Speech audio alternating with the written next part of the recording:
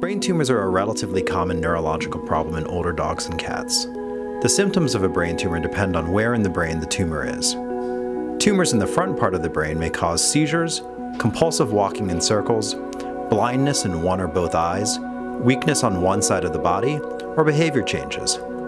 Tumors in the back part of the brain may also cause behavior changes, decreased levels of awareness, wobbly or incoordinated walking, head tilt, abnormal eye movements, and weakness in the limbs.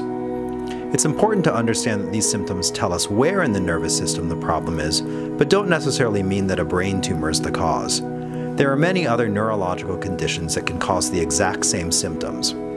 With that said, let's talk a little bit more about each of these symptoms. A seizure is an abnormal burst of electrical activity in the front part of the brain. There are many causes of seizures, including problems outside of the brain like low blood sugar or toxins, or problems inside of the brain, like encephalitis, strokes, and brain tumors.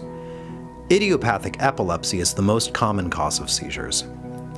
Dogs and cats with structural problems in the front part of the brain tend to walk towards the side of the brain that the problem is on. They may seem blind in the opposite eye and may have postural reaction deficits on the opposite side of the body.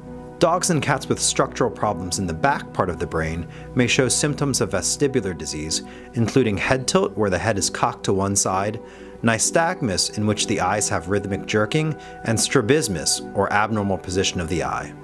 Some dogs with problems in the back part of the brain may have other symptoms including droopiness on one side of the face, atrophy of the muscles on one side of the head, atrophy of the tongue, or decreased levels of consciousness.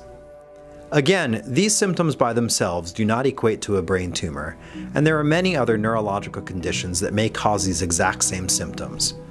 Since so many different conditions can look the same, it's important to have your pet evaluated by a neurologist if they are showing any of these symptoms.